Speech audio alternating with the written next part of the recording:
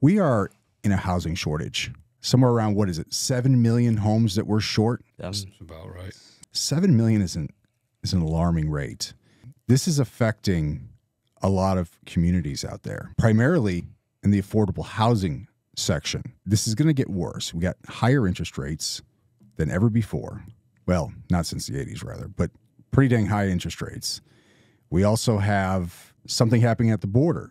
So, regardless of what your political affiliation is, migrants that are coming across the border also need some place to live. And uh, here's the problem they're not going after the luxury listings. They're usually going to go after something like a rental.